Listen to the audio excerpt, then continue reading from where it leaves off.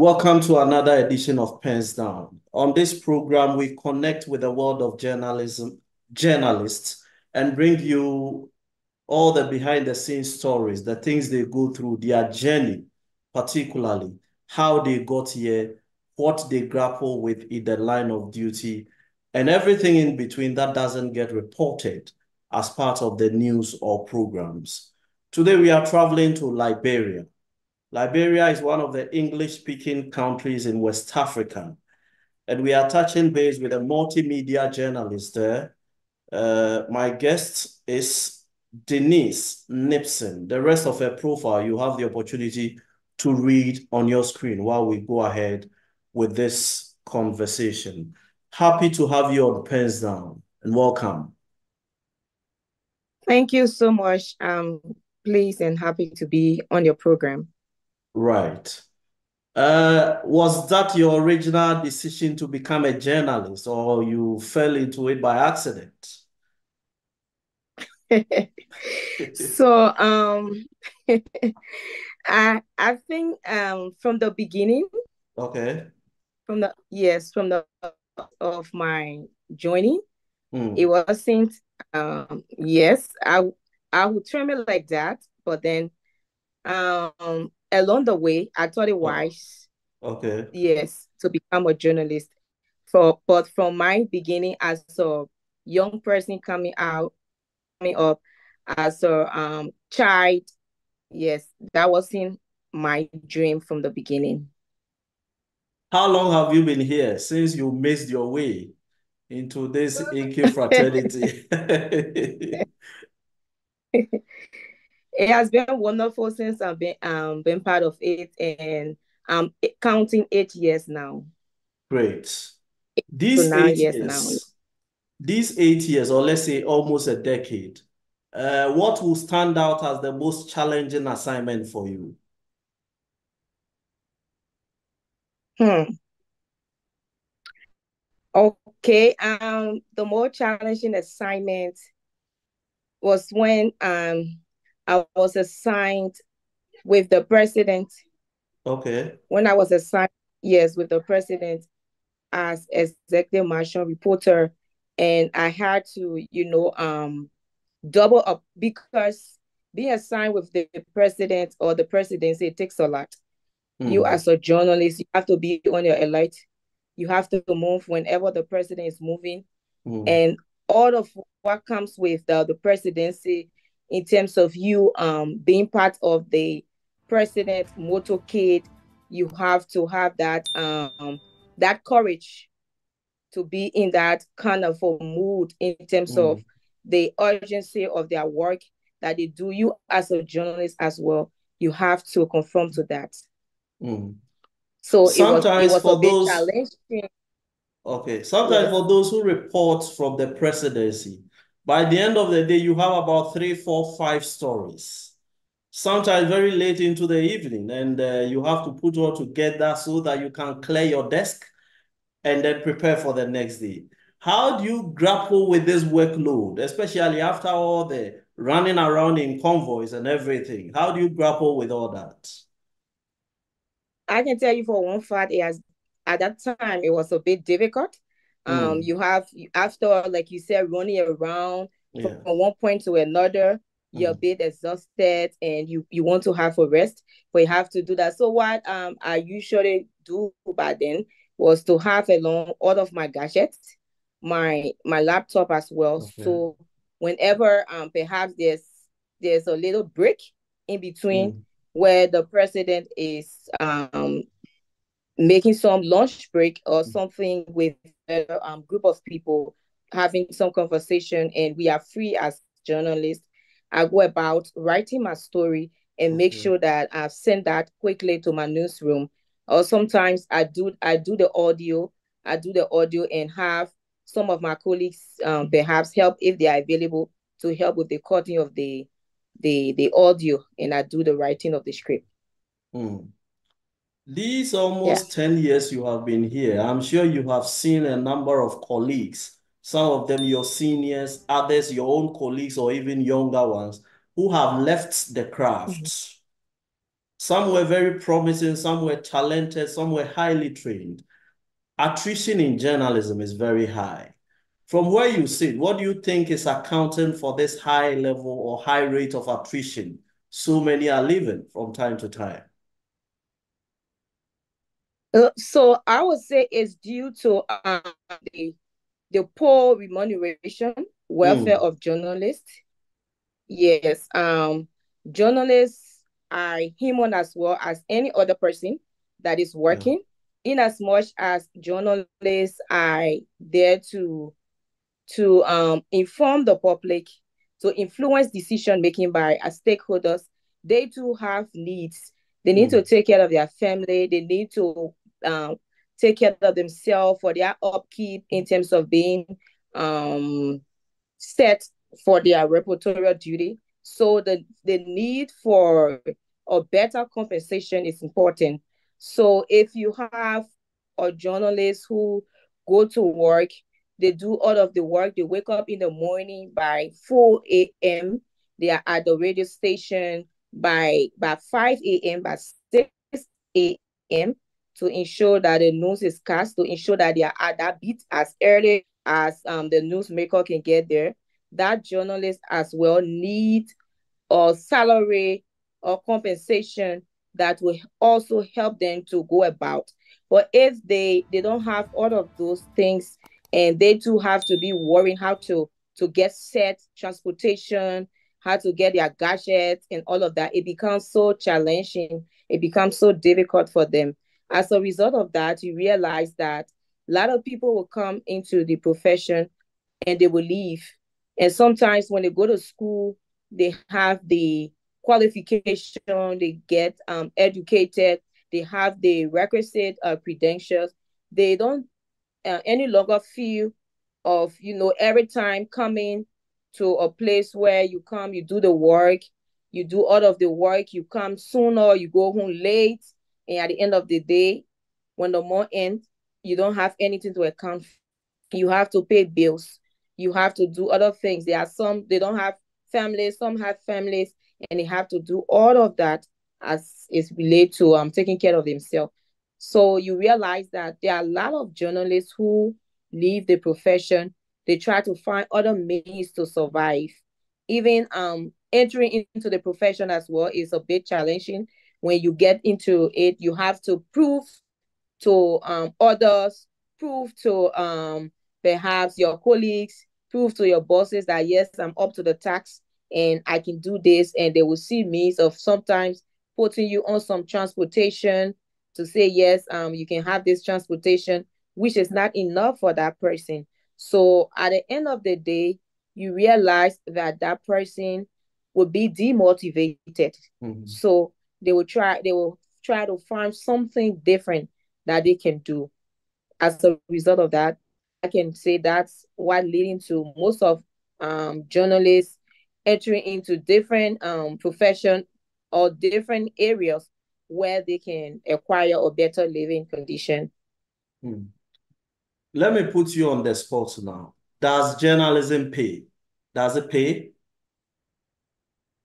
no, no. For where for where we are here in Liberia, so I don't know much about Ghana. I don't know it's much about story. Nigeria.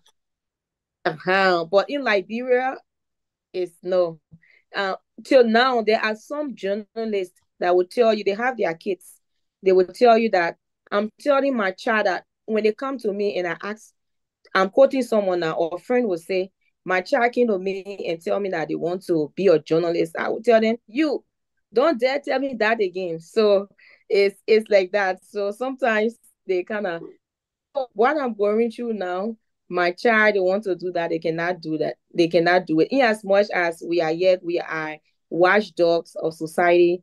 We are there to, you know, um, speak out for the public, for the citizen, to ensure that their lives get better it is important too that those who do those things are, you know, well paid. So to answer your question, no, in Liberia, it is it is very bad. There are people who even work for three months, six months. Sometimes their institution owe them, and at the end of the day, they don't even get um proper address by giving them their salary. Some of them will write, they will talk about it, and when they are frustrated, they just leave and find something else to do instead of being behind their employer throughout. If we are to go back into time 12 years, are you still going to choose journalism? Oh, yes. yes, I'm I'm, I'm going to do that. And for me, um, I think for where I I am now, I'm actually passionate. I'm passionate about journalism because I feel that there are a lot of issues that are confronting our country. There are a lot of issues that are affecting our people that need to be exposed, that need to be talked about. And if we we don't have people who will be there to speak out and to ensure that um, our government, stakeholders, or whosoever policy policy makers can act, we won't have a society that we want to see. So I feel that within that um, light, I'm best suited to where I am, and I'm passionate about that. Since I've been for the time now, decade, there have been other opportunities coming my way, you know, in terms of better salary, attractive salary, attractive um job opportunities. But I've said to them, no, um, let have let let have a check a little bit. This is not what I want to do. I want to see myself as a journalist to do more for my country, and I'm passionate about that. So for the next 12 years, yes, I will be I will be a journalist and a journalist that will also help others to know the way in terms of doing their work to appreciate the work they do as a journalist. Let's talk about social media. Yeah. When you started, I'm not sure social media was that big an influence on journalism as it is today. From -hmm. where you sit and based on your experience, how has social media changed the practice of journalism? Um, social media has added a lot. Mm. Um, for the positive um angle, it has ensured that um journalists can be up to the task. Yeah. In terms of being on time with news, mm. in terms of being um timely and being to the point, because you have if you are a journalist and you are not on top of your game, you mm. are not ensuring that you you get the right information before you make up your mind social media already has the information so this makes um journalists to be on their feet to be prompt with their their news gathering and to ensure that they can inform their people. On the other end social media has come with a lot of misinformation and disinformation to the public. That what um it poses another challenge for the work that journalists because if um a citizen journalist just wake up and go on social media, you have mm. everyone posting about something, something that is not factual. And you as a journalist now in coming back to the public on your own outlet to say, no, this is what it is, and this is what has happened. Sometimes people don't even believe what you say because they have already gotten information from social media mm. that is not totally true, that has some um disinformation within, but because they have gotten that from social media, so they turn to consider that as a good um information that they, they have gathered. But you know, with all the good uh, uh, aspects of social media, mm-hmm bloggers are making more money from social media than journalists are making. Where did mm-hmm. we go wrong? Is there something we are not doing right? You and I have the training that should make us masters of information dissemination and public education. What are we not doing right? Why are we not millionaires and billionaires? Since social media is just an extension of one more platform that we can use to educate and inform the public? Yeah, so with that, I think we um need to see how best we can use that. There are others who are using the social media, but like you said, bloggers are far, far ahead of us. Mm. And one of those issues as well has happens to be I think um the blockers they don't go for um they don't go for how do I call it? They don't go for balancing their information. Okay. They don't go for that. Bloggers just sometimes break the news as it unfolds. Sometimes they don't get the side from both parties.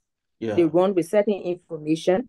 But you have a journalist that will want to have both sides to be um, authentic in the information that they give out to the public. So sometimes it is lower or slower their pace of reporting on the social media. And, and also, I think there's this issue, this crisis about um, the new media and mm-hmm. the traditional media. Um, because it is important. I had a training where, yes, we um, saw a couple of institutions who are making use of social media and mm. ensuring that they broadcast frequently on social media. And that is now happening with this um, Facebook Live that we as journalists are using as well in terms of broadcasting all of our contents, having social media live when we are in studio, when we are out in the field, will film all of those things, have a live um streaming going on that people can follow. And I think we need to do more in terms of that. We need to have more training and mm. improve on how we do it different than what the bloggers are doing.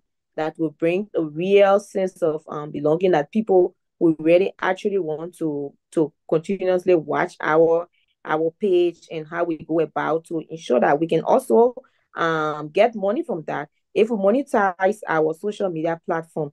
But again, also in my country, Liberia, um, we have not gotten there yet in terms of mm. monetizing, you know, our platforms. Okay. So it kind of make a little bit difficult. But some people are trying to do that now, and we mm. hope that we can get there and make social media a very, very uh, good tool that we can generate income and mm. also inform the public. Yeah. Mm. In Ghana, we call it Soli. That is solidarity. Is the short form for solidarity. Liberia okay. calls it uh, KATO or professional services. Okay. In Cameroon, they call it brown envelope or gombo. Nigeria calls it brown envelope. Uh, down in Malawi, they call it logistics. I am sure by now you know what I am talking about. I One know you already put it. Several surnames. What is your take on this practice? That envelope bearing money, which is handed out to journalists, maybe after they go cover events or they go interview that newsmaker or popular person. What is your take on it? I would say it is not a good practice. Mm. It is it is not good in the sense that um, as a journalist, you are going to do, and especially um, a work that you need information to be balanced. Yeah. To inform the public. Um, not the kind of information you go out for that is popular, um, popular relations related, that for mm. publicity and that you have to promotional work. It's not promotional work. But as a journalist, you you go out to get your information to inform the public so it is important that you do your work with independence.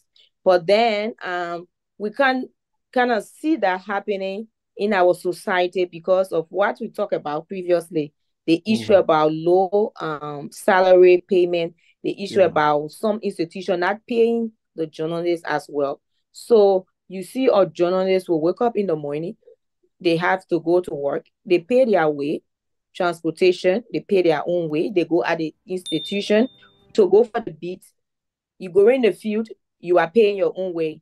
The institution um, do not provide um, transportation. They do not mm. provide vehicle for you to go and do the work. And sometimes some people, um, some journalists, they don't have the means of other source of income.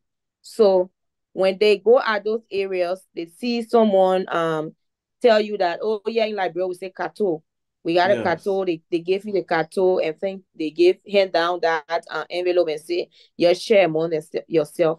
They will also take it because they feel that if I leave this um and go, how will I go home?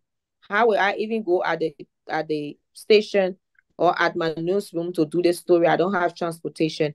I don't have the means. But my my take on it is that it's not good um for our profession because it undermines your independence. It undermines your integrity in terms of balancing the story. Someone might think, yes, I can give this person this money, and they think that they influence the story that you would do. And if they have a side that is not favorable that you need to report on, they feel that they yes by handling by handling sorry that uh, envelope you will change your mind to put the story um in favor of them so mm. i would say there's a need a media institution actually pay their workers ensure that um the unions we have the associations we have can mm. actually do can actually do well for the journalists in liberia there, there was this proposal um, called the collective bargaining to ensure that journalists are paid well at certain um, rate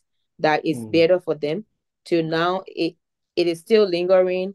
It is still there. No, no one has actually put it out to yeah. talk about it to ensure that they can work on it. And another thing in Liberia as well that is also um, a challenge to financial gain by institutions having mm. to be the issue of publicity, advertisement. Okay. Mm. Yes, not many institutions yeah, or businesses in Liberia want to advertise.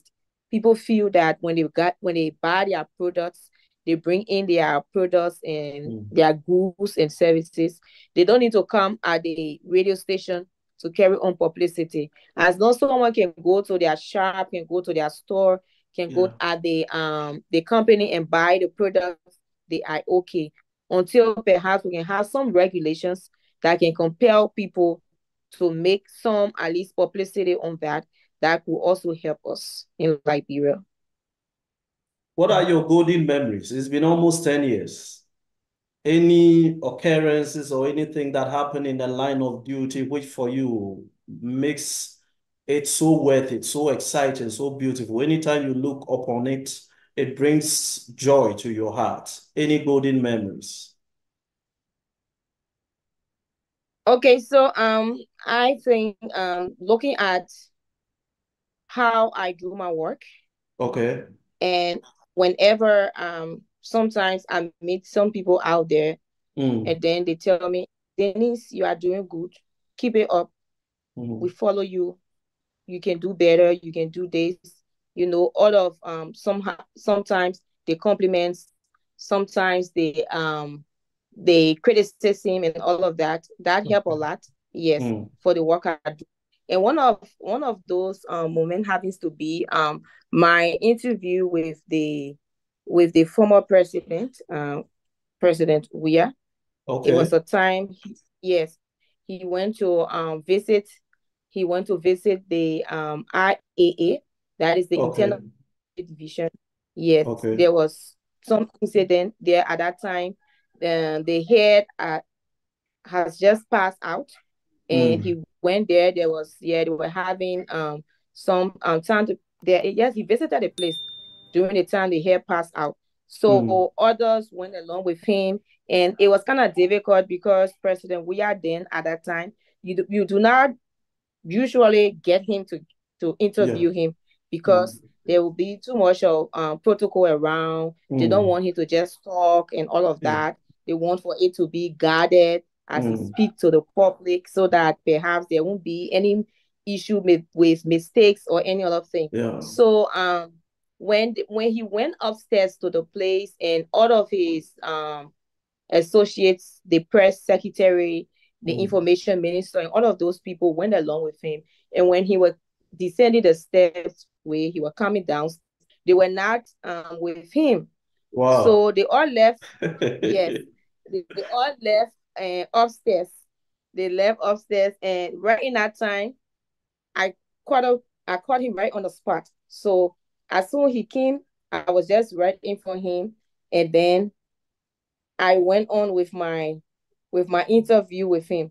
So I was like questioning him, asking him the reason why he was there and what has happened and all of that. And it was he was talking from one thing to another, and he made mention it was the time he spoke, he mentioned about the issue about um, CC camera in, in um, various um, institutions okay. that Liberians should ensure that they have CC camera at institutions and mm. all of that. For that interview at that time, knowing that the way in which he he um, responded, mm-hmm. yes, have said something and it went in the public, like he was saying different things, like all Liberians should have CC camera at their, home. So people then saw it like that.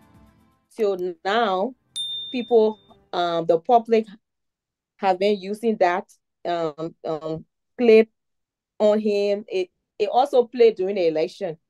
People were, oh, the president said we should get our own CC camera. Well, we don't have money. How will we get CC? Yeah, how will we get CC, CCTV? How will we have CCTV at all places? So um, sometimes when I'm in, when I'm in the taxi, when I'm in the gathering, you hear people talking about that. They will be saying, "Oh, he said this," and I will just laugh and say, "Ah." but I cannot go around and say, "Oh, I'm the one that did the interview of the president," and all of that. So, uh, that that that is um some of those you know kind of mm. interesting yeah moments in our profession. But there are a lot. There are a lot of them. Right. Okay. Okay. Yeah. Let me take your your thoughts on this media matter. Political ownership of the media. All across Africa, there and even parts of the world, there are politicians or politically connected people who own and control big and highly influential media houses. Across the border from Ghana in Nigeria, the president, the certain president, Bola Ahmed Tinubu, is the owner of the Nation newspaper, one of the most powerful daily newspapers in Nigeria, and also TVC television. It's a whole media empire political ownership mm-hmm. of the media. I want your thoughts as a media practitioner. Is it a good development or we are sitting on a time bomb? We are sitting on a time bomb. Hmm. I say for sure, yes. I said this to say that um, having politicians media institution mm. is a serious problem. Mm. We are faced with that like about 90% of our from our own stats, mm. like 90% of our institutions in Liberia are yeah. owned by politicians. Mm. Yes. It makes it difficult for advertisement mm. for you to have um dealing with other opponents, other people who are politicians who are rather or who are from the opposition party Take, yeah. for example, if you have a, a media institution and that media institution is owned by someone who is in government, mm. those who are opposition um, political parties, sometimes they, they will refuse to come at your institution.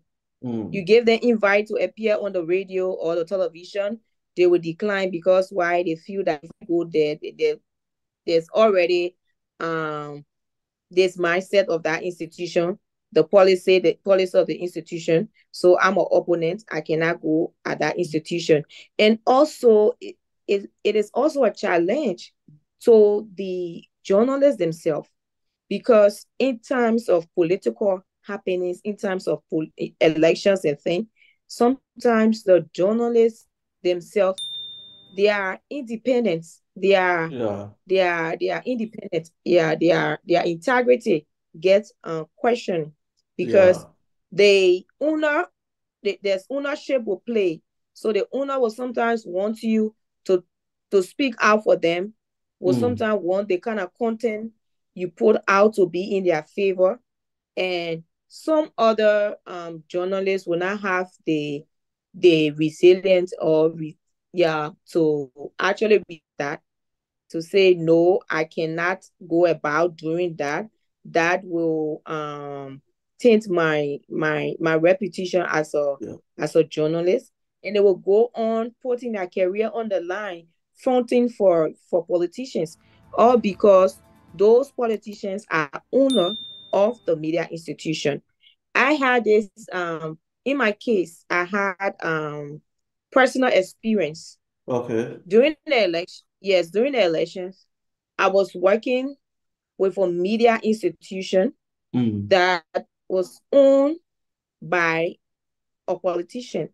Okay. Someone who someone who was affiliating with the then uh, administration.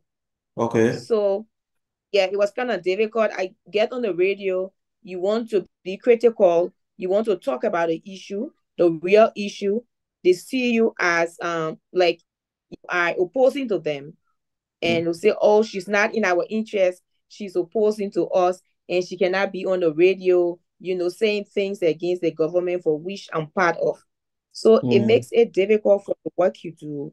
It's kind of difficult. That also contributed to demotivation of a lot of journalists, demotivating them from leaving because they kind of wanting to be critical in terms of telling a balanced story, reporting a balance uh, um, happening, but they cannot do that because the ownership of the institution has some political um, alliance with some political person. So it makes it a, a difficult task. So with po politicians owning media institution, I can tell you we are sitting on a time bomb, and, and it is important that yes, we can work around that to see how bad that can be, you know, solved, that can be resolved, that can be actually handled. I heard a when I visited the US, that mm. that was a question that though I asked as it relates to media institution. And what okay. they said that no, in, in the US here, we don't give license to politicians to open radio stations. Mm. So I was like, oh, that is good. But in Liberia, we do that. Even if a politician, and when it comes to the period of election, during the electionary period, you see that a lot of politicians will start to open media institution that they will use as a tool to run their campaign. So it is actually rampant in Liberia. Uh, perhaps in Ghana, it is not as yeah. much as in mm. Liberia. Yeah, yeah. In the line of duty, has there been a time somebody approached you? Uh, we have heard you are doing this story. Uh, take this and then forget about the story, or rather, change the facts of the story. I'm talking about bribery or attempted bribery in the line of duty. Have you had any such experience?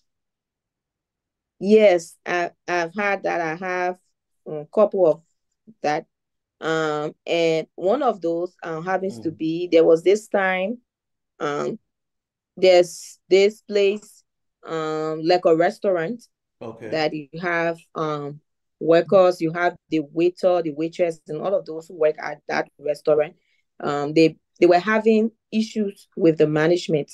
The management wasn't actually paying, they were owing them their salary and it was delaying. I think they decided not to pay them for I don't know what reasons. So the workers went on a rampage. They they started protest and started demand as well for you know management to pay them all of that.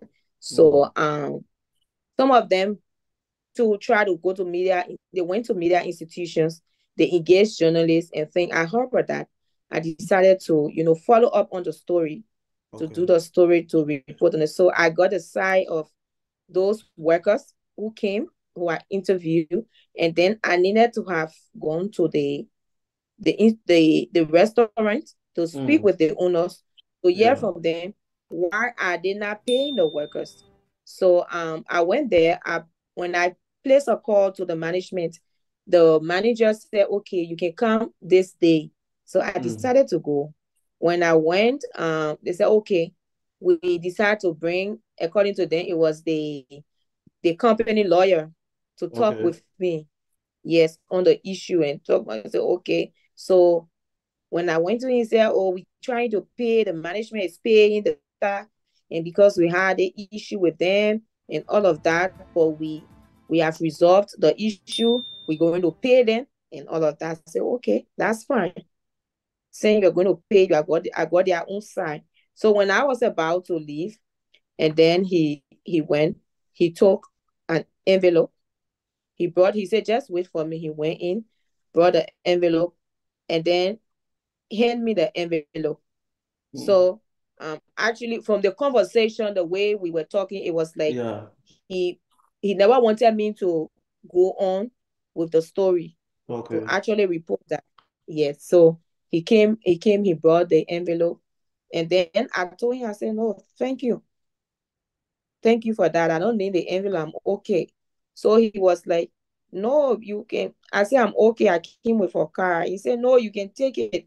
You can take it and use it. Take it, take the envelope. I said, no, it's okay. I'm okay.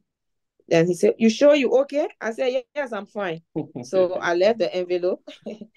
I left the, the, envelope and then I I was leaving the restaurant.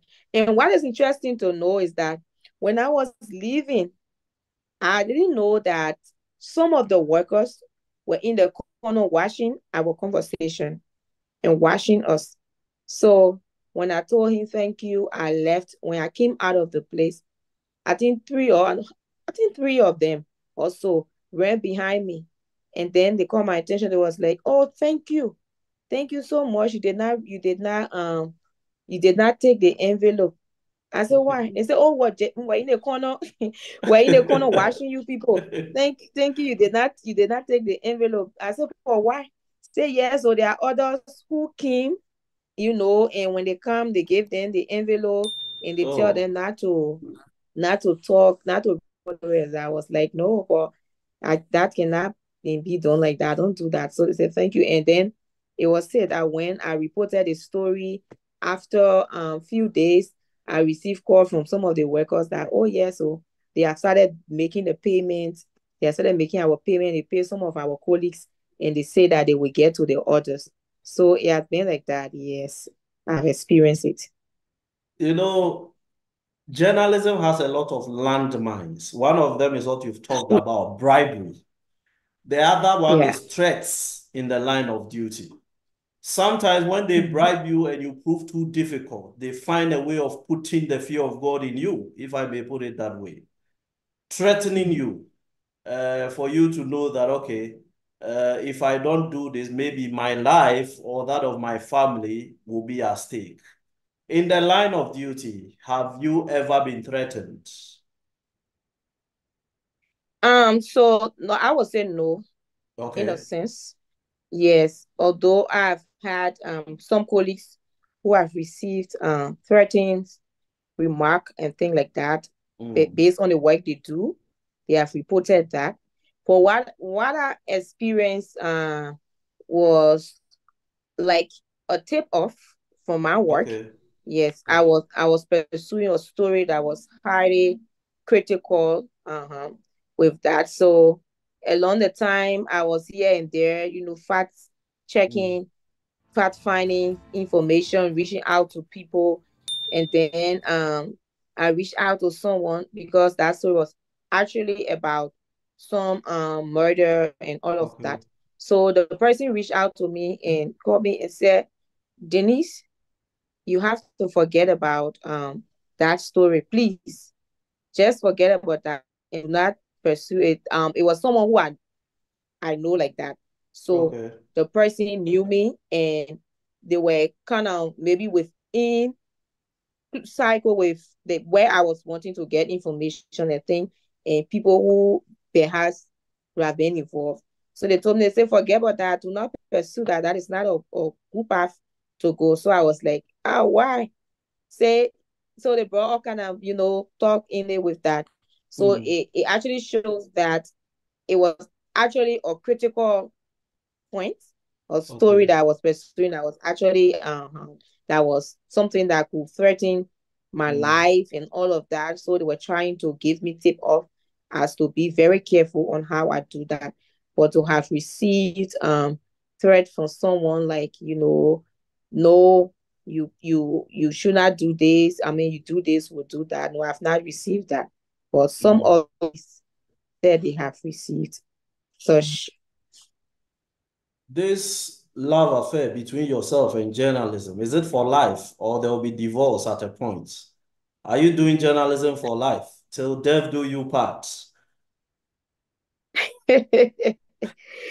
uh i would say in some because um sometimes you don't know what happened in the next few mm, um years or so. Yes. For for where I am, yes, for where I am, I I would say yes.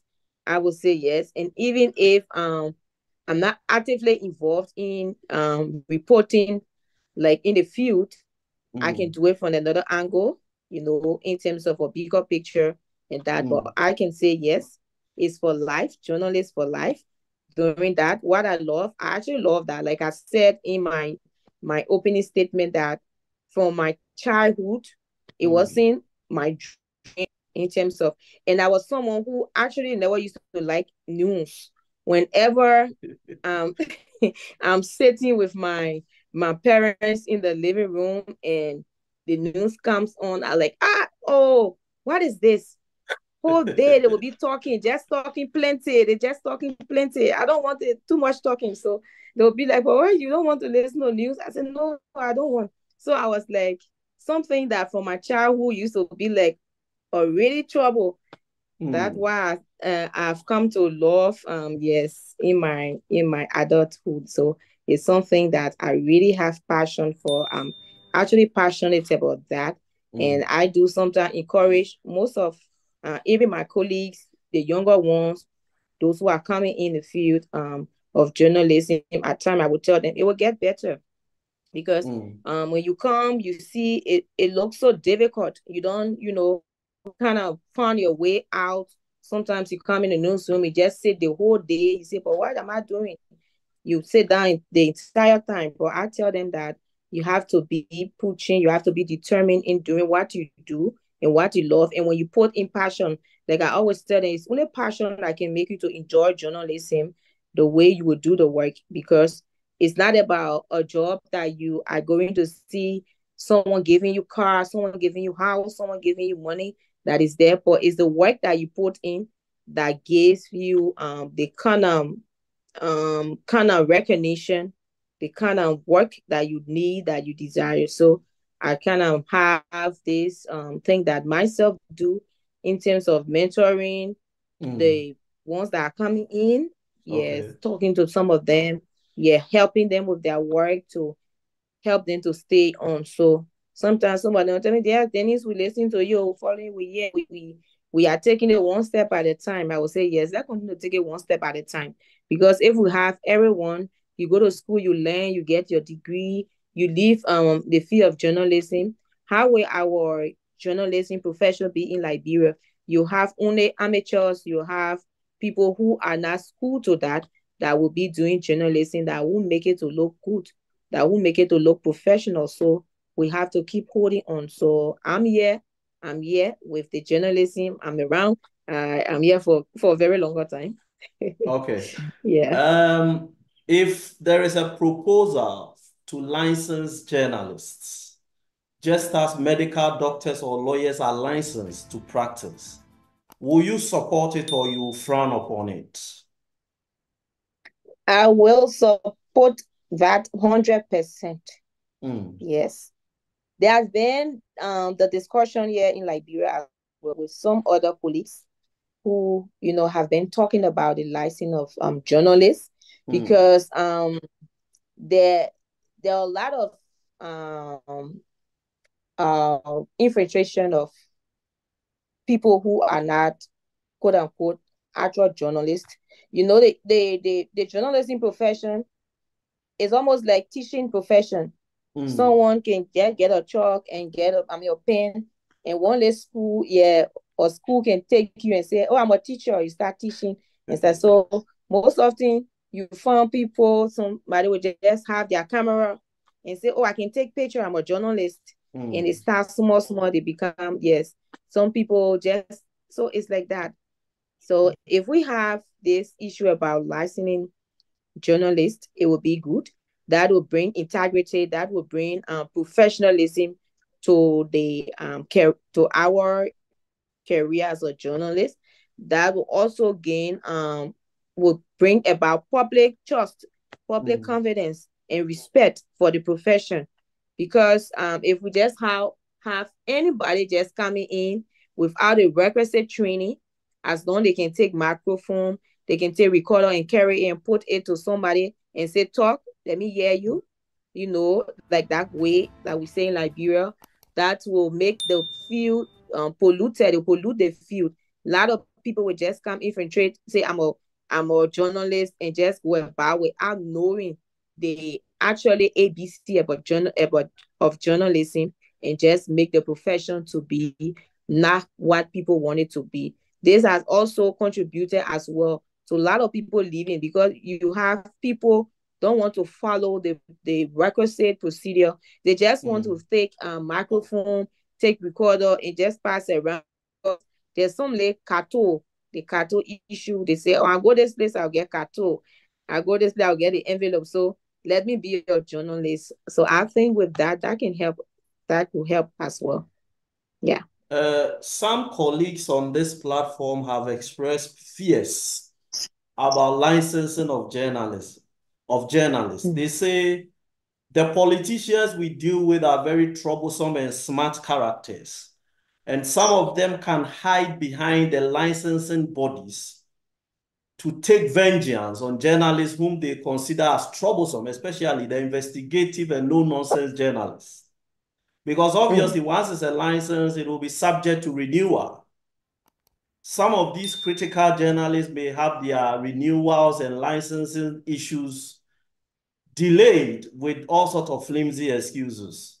Of course, there will be a body of journalists responsible, but mm-hmm. politicians may find a way of hiding behind them to settle scores with some of these journalists who are making life uncomfortable for them by exposing them. You don't think there is a downside to licensing journalists? Yes, um, they are right. They have their point. Mm. Um, their points are well noted in things in terms of what you're saying, but also what I think is that um, whenever there is a new kind of um, policy um, coming up or some some um, process being put into place, there mm. will always be some um, guidelines. There will always be some policy. There will always be some measures mm. to ensure that um, all of what you have mentioned can be considered, can be um, taken care of. So I think it's the way in which that will be done. It's not just about saying yes, journalists go and be licensed, that when your license expires, you have to go and renew it. There should be um, plans and strategy put into place on how to go about that. There should be um, an institution um, that will be in charge okay. to regularize how journalists get um, their license, whether um, some politician want to get to the journalists. Uh, even in Liberia, currently we have the PUL. Mm. The PUL is our union body, yes, that speaks for journalists, uh, stands okay. for journalists whenever there's um, some, you know, issues with journalists or someone try to infringe on their rights and things like that. So I think the PUL will still be functional you, you just have to, what we need is to strengthen the institutions mm. that we have in terms of advocating for the well-being of journalists, for the welfare of journalists, that when a, that a politician cannot just come up and say, because this person is kind of critical, so I want to clamp down on their their work they do. So I will have to, you know, um, ensure that they don't get licensed. So I think it's just about strengthening our institutions ensuring that that that could work or that can work because it is important that we do that. Doing that will help because before a journalist um gets the lesson, you have to prove uh why you should you should have it. You have to show whether you are qualified. There will be criteria set. You have to meet those criteria before you can be considered as a journalist. So I think if we do that, that will help. The lawyers are doing that, others are doing that. So if we try to do that, I think that will help in as much as there will always be um, politicians who will want to get at some journalists any time, any given time. Without the issue of license, they mm. are still making they are still doing that. So having a license is about having this um some level of confidence, some level of respect, some level of um, consideration from the public for the work we do and how we carry ourselves as a journalist. If any young person walks up to you and says, I want to be a journalist in future, is that person getting your blessing? And what is that advice you give the person? Obviously, yes, I will do that. And there are several who also reach out to me. Okay. Or they do, mm. usually. Um, and I also encourage them to be steadfast, um, to be to be determined, to be um, perseverance in the work they do, and be persistent with the work they do, putting um, integrity first, putting passion in the work they do, and be intentional about journalism. It's not about the film. It's not about um, all that comes with it, the accolade and all of that. But it's about making sure that you do the right thing. So I always encourage them to be persistent, to be determined, to be courageous, and be truthful in what they do. Be accountable for the work they do. That um when they are they are somewhere they can beat their chest and say, Yes, this is what I did as a journalist. This is my work. that's why who is around, always be true to the work you do by by making sure that you consider your ABC of journalism. Um, that's why I always tell them passion, be passionate driven, and also be determined and be persistent to be a journalist. My final question. Yeah. Give me two names of two international figures if that if you have an opportunity you want to interview them, one male, one female.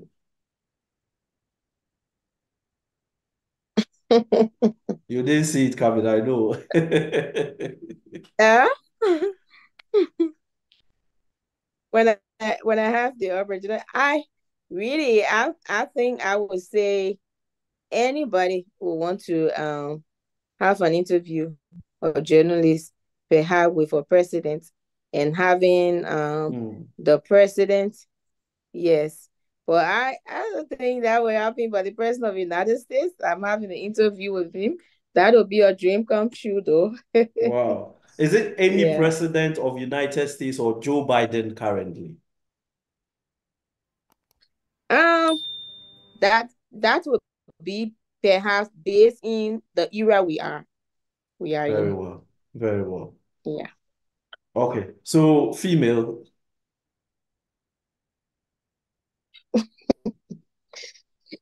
female.